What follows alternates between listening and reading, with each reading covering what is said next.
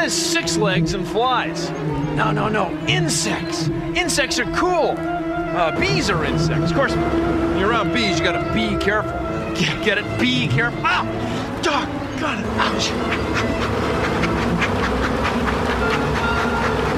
Breathing room here. Bill Nye the Science Guy. Bill Nye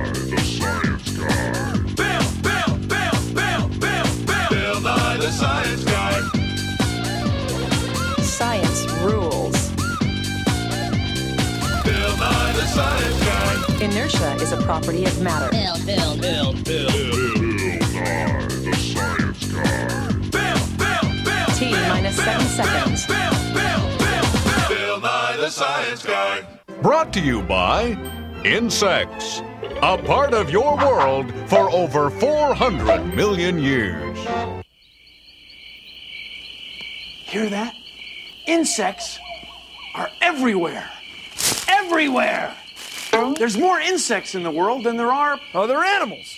There's so many insects that, that if this lab were a patch of forest, there'd be enough insects living on that small piece of land to knock this door right over.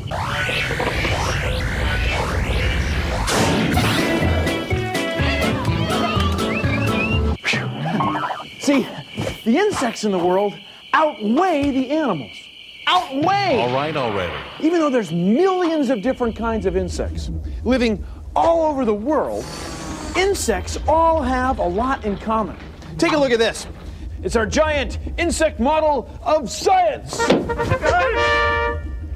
Now, in order for scientists like you and me to call an insect an insect, it has to have three parts a front, or a head, duh, a middle, what we call a thorax, and a back, a tail, what we call the abdomen. Now, insects also have to have six legs, three on each side. Now, you and I feel the world around us with our skin. That's how we tell whether or not something is smooth or warm. But insects don't have skin. In fact, insects don't have a skeleton inside them either. Right, Terry? Right, Bill. No, insects have their skeleton on the outside. It's what scientists call an exoskeleton. Exoskeleton. So you with me? Exoskeleton. Exoskeleton, skeleton on the outside. The exo. It's kind of like an airplane. Airplanes are hollow tubes that are hard on the outside, and the skin of the plane gives the plane its shape and stiffness. The material of insect exoskeletons is kind of like the material of your fingernails.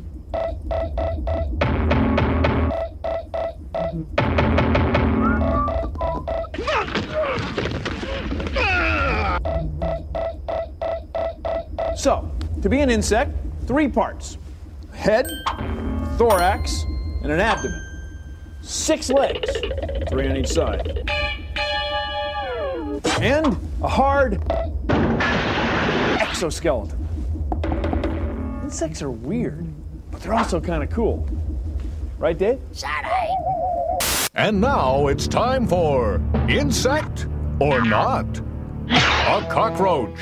Insect or not? A big hungry spider. Insect or not? Spider Man. Insect or not? This has been Insect or Not.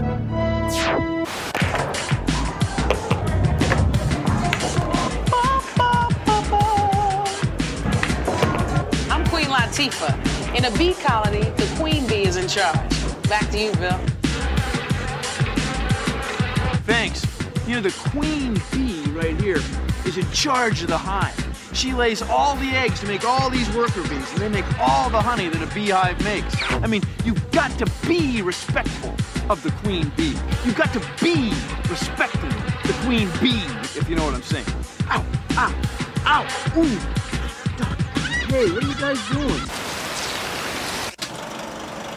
For all their differences, the ants hold one thing in common the ability to dig.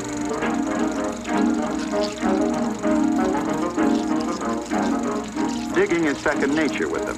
In fact, their engineering is so exact, the ants think nothing of making tunnels meet within a fraction of an inch.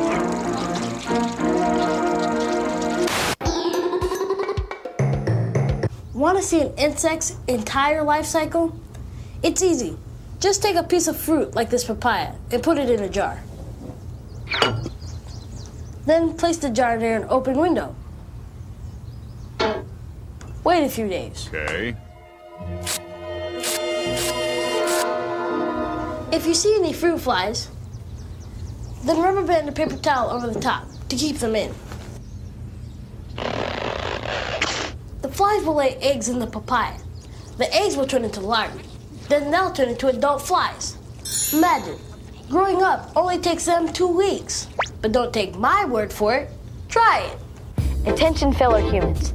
Next time you see one of these critters with the skeletons on the outside of their bodies, chew on this. Insects outnumber humans and other animals combined.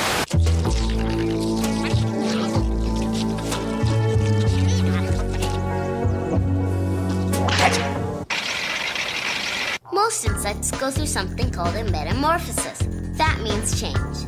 They start out as an egg. Out of the egg comes a larva, which turns into a pupa, which turns into an adult.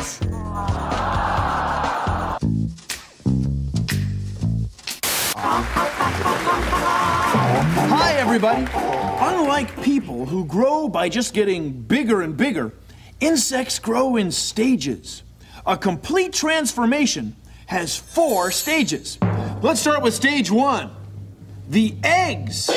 Pat, tell us about them. These are butterfly eggs, Bill. Some of a limited number produced each year by the beautiful and elegant monarch butterfly. Those are tiny, cute little eggs. Now we'll go to stage two the larva. Pat, In butterflies and moths, it's called a caterpillar. In flies, it's a maggot. It's the larva, the creepy, crawly, worm like second stage of an insect's life. now stage three the pupa. Pat, tell us about these dormant brown guys. The insect is in a protective covering while it transforms. The pupa is as functional as it is beautiful. And finally, we go to stage four. The pupa emerges and transforms itself into an adult. The form of the insect we've all come to know and love. It comes complete with three sections, six legs, and one or two pairs of wings. That's all the time we have. See you next week on Insect Stages. So long, everybody. Mr. Nye's clothes were provided by Exoskeleton 500. Promotional consideration also provided by Thorax Airlines. The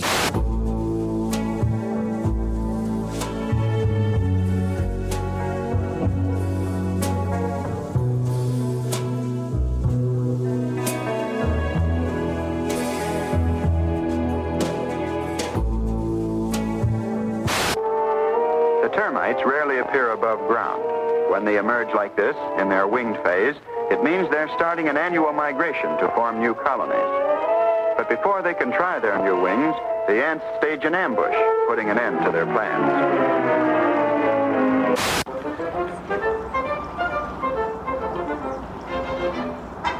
Honey, can I have some potato salad?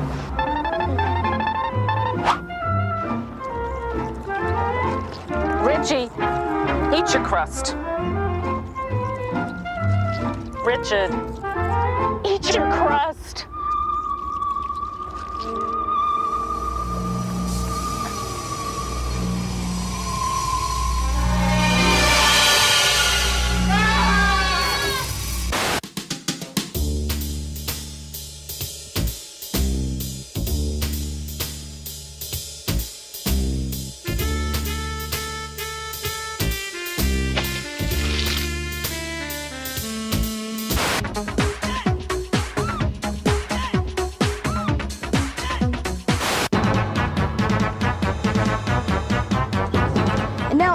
Courtroom is the plaintiff Bo Weevil. Was it self-defense or insecticide? Theirs was a cold, smelly world where the ancient art of dung fu could mean the difference between life or death. I'm Steve Kutcher. I'm an entomologist, and I have a house full of bugs, and I love bugs. I think I'm a little weird because I really love it. I've got grasshoppers. I've got ants. There are over a million different species of insects, and man hardly knows anything about them. But these are some of my favorite cockroaches, and they live. They come from Madagascar. They're called hissing cockroaches. Hear them hiss? I've got tarantulas, scorpions. This is a tarantula. This is a whiptail scorpion. This is an emperor scorpion. They're bugs, they're cool, but they're not insects. These are mealworms. They're going to turn into beetles. I've got flies. I've got over a hundred things here. And you know what? I need help feeding all these things. And people say, what purpose are ants and cockroaches? Ants and cockroaches are the garbage insects of the world. They clean up all the mess. And if it weren't for ants and cockroaches, we would have more garbage than you can imagine. This is a darkling beetle. It only eats plants. And they tickle when they walk across your, your arm. Because what they're really doing is they don't have a nose like you do, so they use their little mouth parts to smell. Insects are cool, but you have to remember that some of them bite, pinch, and sting, so you have to be careful what you pick up. Did you go out the window? Yeah. In the ant world, the fight for survival becomes open warfare among the various species. And the bitter rivalry between the red ants and the black ants is as old as ant history.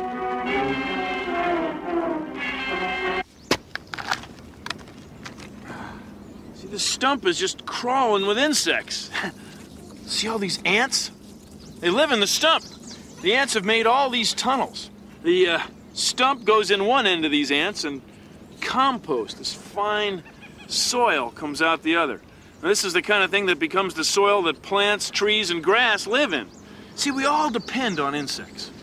Insects here eating a, a stump sandwich. Looks good, doesn't it? I just don't even know where to start. Attention humans. Insects grow in stages from egg to larva to pupa to adult. And if all the world was a stage, then watch your step because insects rule it. Any questions? We see with two eyes, see? But each eye has one lens. Now, most insects have two eyes too, like this is uh, Hymenoptera apidae, the honeybees. But each eye is a compound eye. Compound means many. They have many lenses in each eye, kind of like this ball. There's many paths for light to take. Now, if we could look through insect eyes, we'd probably see something like this, like looking through a kaleidoscope. Many images of the same thing at the same time. Boy, that's a lot of me's, isn't it? It sure is. Insect brains probably blend these images together into something like this. So an insect might be thinking, I know what I'll do. I'll fly over to that bright patch of light. Hey, hey, what are you doing? Quit bugging me. See that bugging me? Get it? Bugging me? That's your insect compound eye comedy right there. Did you know that? Some insects can lift 50 times their body weight with their mouth parts. Humans have about 700 muscles, grasshoppers about 900, and caterpillars up to 4,000. Now you know.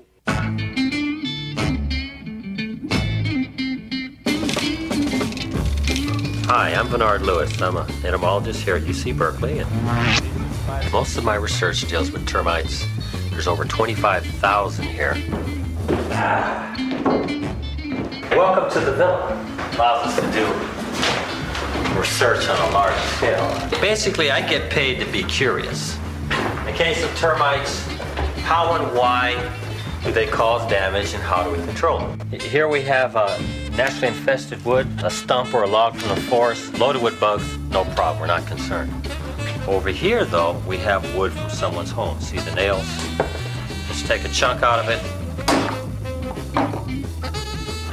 As you can see, I think we have a problem here. Most of these are workers, the big ones with the real dark heads are soldiers. See them trying to bite me? There's another big one in here with wings. That's the new queen. See that? Isn't she pretty? But most of the termites you see in here are the workers. Their, their job is to eat wood. I, know most people think termites do bad things, and they, or some that certainly do. But they also do, do good things. If it wasn't for termites, we'd be a 100 stories deep in dead trees. It's their job to make sure to recycle or decompose the trees back into the natural setting.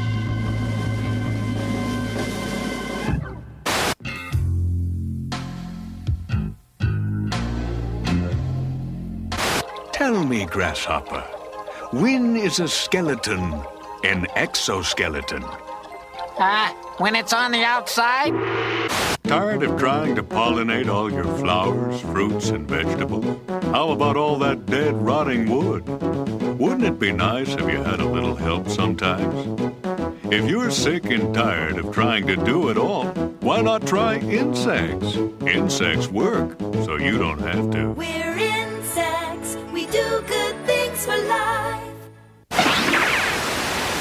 This airplane is like an exoskeleton. See?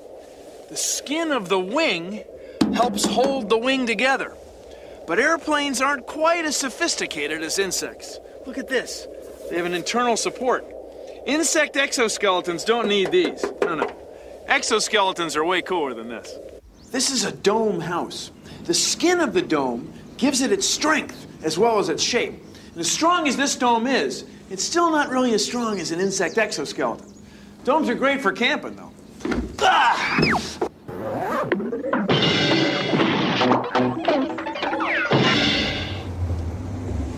What do you think of this exoskeleton? Protects the soft, squishy stuff inside. I'm okay. Okay. Wanna go big game hunting? Wanna go little game hunting? First, we need a net. Bend a coat hanger in a loop, then staple a plastic grocery bag to it.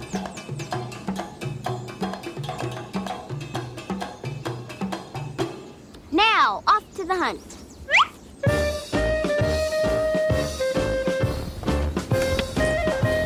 If he gets down here, I'll get him. I love collecting bugs. Um, collected bugs ever since I was four. Man, I got two in one shot. Gonna carry all the pollen on his legs back to the nest so they can make the wax. It's a good catch. Very interesting. I like learning about them a lot and taking them and mounting them and learning how to mount them and how they fly. Oh, cool. This will make a perfect specimen, won't it? You know, you don't always have to like take them home, put them in a jar, and just look at them. You know, a lot of them you can find their food plant and uh, re- rear them.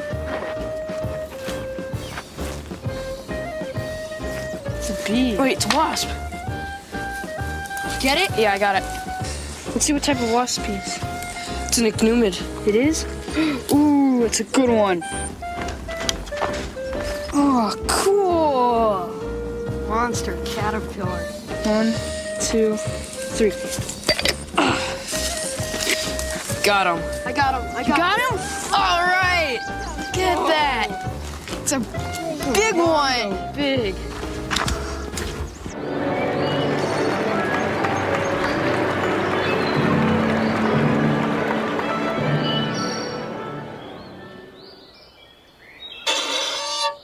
A grasshopper makes sound by rubbing its leg against a wing. Much like I draw my bow across a string.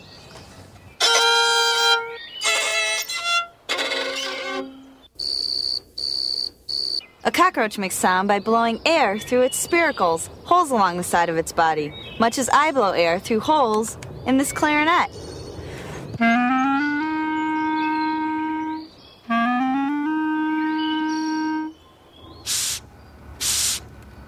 A cricket chirps by rubbing a scratchy wing part against a scraper wing part, such as I rub this stick against this wooden wheel.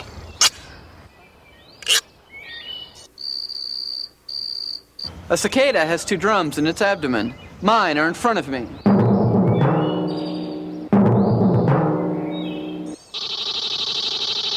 And now, all together!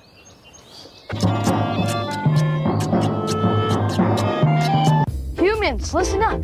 Insects have skeletons on the outside of their bodies, and they grow in stages, not continuously like you or me. Oh, and another thing, they rule the world. There's more of them than us. Science!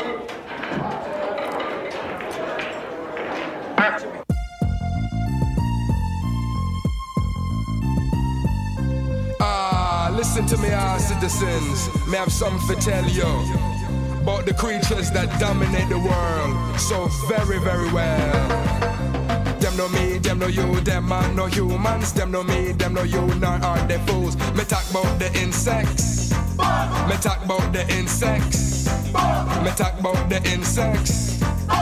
Yeah, man, insects rules. Said them are more insects in uh, this world than there all of the boys and the girls. They grow from egg to larva to pupa and finally adult. Six legs, three body parts, tell them do everything that them need to do. Them pollinate the flowers, decompose the garbage. Them are insects and them are live large. Them no me, them no you, them are no humans. Them no me, them no you, nor are they fools. Me talk about the insects.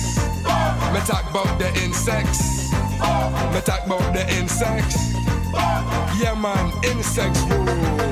So the next time you want to smash an insect, cause it bugs you, just be aware, citizens. They're gonna be here long after you.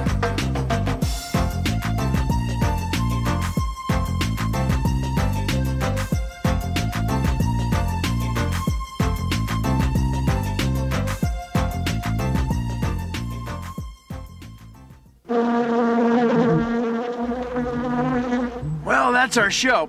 Thanks for hanging around. You'll excuse me, I've got some larvae to watch metamorphosize. I'll be seeing you. Get it? Be seeing you? Produced in association with the National Science Foundation. So, George, you're an apiologist. Yes, I'm an apiologist. And what's an apiologist? That's a, that's a beekeeper. How many hives do you have? I ha- we have about 400 hives. How many how many I've had- pounds of bees? If you go into bees, that'd be about 40 million. A lot of bees. A lot of bees. A lot of stingers. So, George, why do bees have stingers? It's, well, the bees have stingers to protection of their hive. Why do you wear this? To keep them from stinging me. Ah. But uh, it's sucker stinging. Take his black pen. Get rid of that thing. Put it in my pocket. You don't want to get stung. It's a joke, George. no, I, I got stung three times. Ouch. For real. Where are we back to pollination? Yeah, you want? Ow! Ah! Ah! Ooh! Ouch!